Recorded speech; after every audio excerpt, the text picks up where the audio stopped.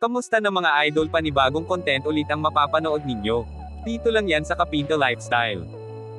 Ang content natin ngayon mga idol kung paano magpintura ng yin yang na may marble effect sa ating center light ceiling. Kaya panoorin nyo hanggang sa dulo ng video na ito mga idol kung paano natin ito gawin.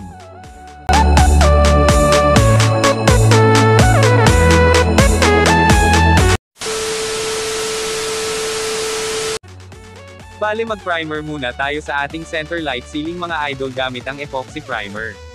Tapos ko na rin na masilyahan ng skin coat ang center light ceiling mga idol. Bale magpa-primer na lang tayo. Umpisahan na natin mag-primer mga idol.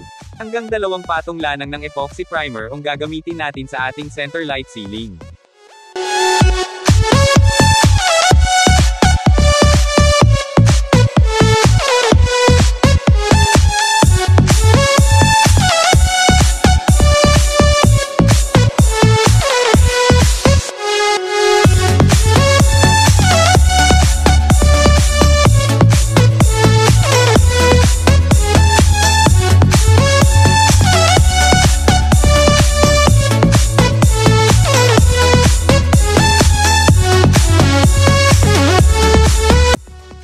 Yan mga idol tapos na nating i-primer yung ating center light ceiling.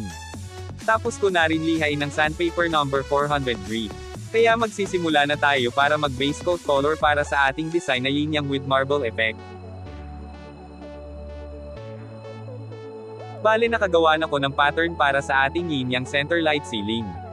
Tinakpen ko na rin ng dyaryo yung kalahati ng ating design para hindi madamay sa pagpipentura ko ng base coat na kulay white. Ang gamit pala nating pintura para sa base coat color white ay automotive acrylic white mga idol.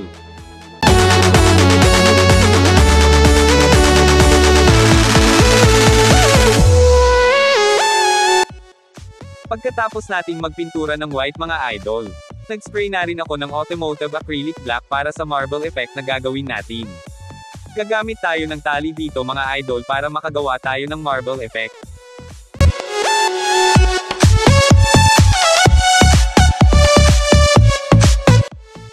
Bale mag-spray ulit tayo ng automotive acrylic white mga idol. Para makita na natin ang kalalabasan ng ating marble effect.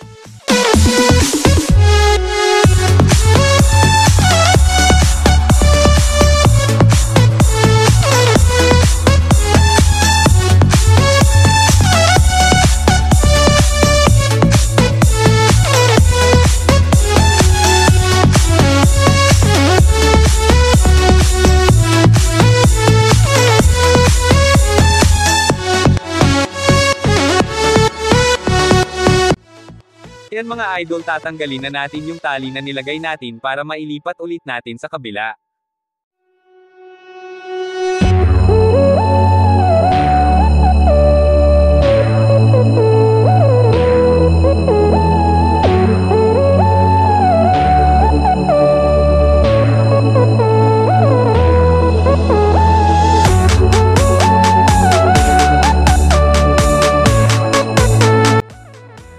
Ay lalapit ko yung video natin mga idol para makita nyo ng malapitan kung ano ang kinalabasan ng ating marble effect.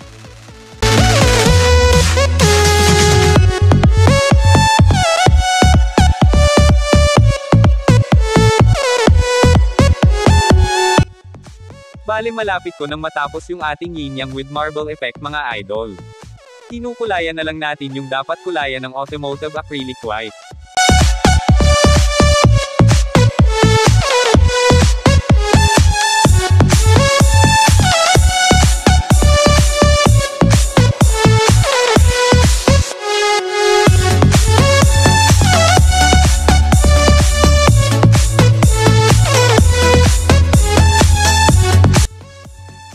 Yan puting-puti na siya mga idol. Bale patuyuin na lang natin. Para magawa na natin yung mga susunod na step.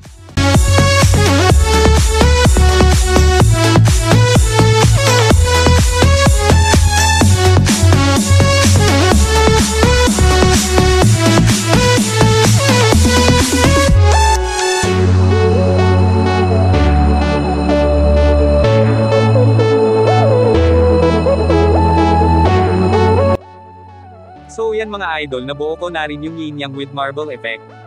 Hindi ko na nai-video yung kalahating bahagi ng ating linya mga idol bale ganon din yung ginawa ko katulad ng napanood nyo kanina mga idol. Patutuyuan na lang natin at magta-top na tayo.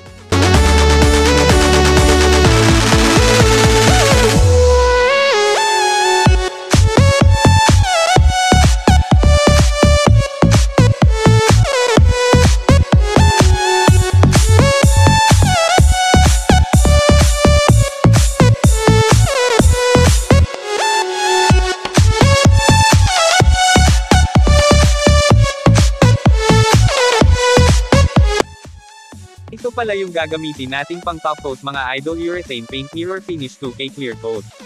Bale 2 components siya mga idol. Ang paghalo nito mga idol ay 311. Tatlong sukat ng clear coat. At isang sukat ng catalyst. At isang sukat ng urethane thinner.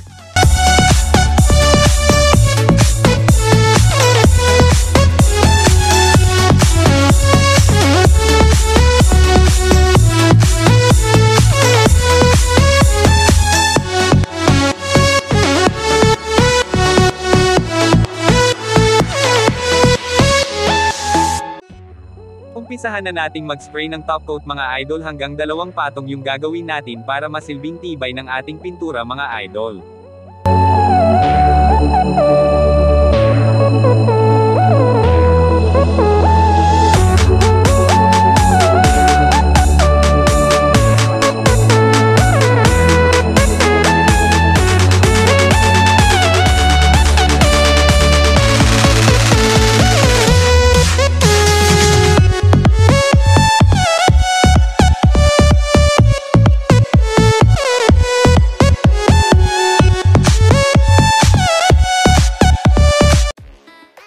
So yan mga idol ito na yung finished product ng ating yinyang with marble effect na center light ceiling mga idol. Tapos na nating i-top coat. Napatuyo na rin natin at naikabit na rin natin yung pin light niya mga idol. Kung nagustuhan nyo itong video na to mga idol pa-subscribe naman sa ating munting channel mga idol. Para marami pa tayong video na i-upload gaya neto mga idol. Hanggang dito na lang tayo mga idol. Sana may natutunan kayo sa ating content ngayon at may mga ideas na rin kayo para sa inyong mga project kagaya nito mga idol. Kita-kits na lang sa susunod ko pang mga vlog mga idol hanggang sa muli God bless po sa inyong lahat.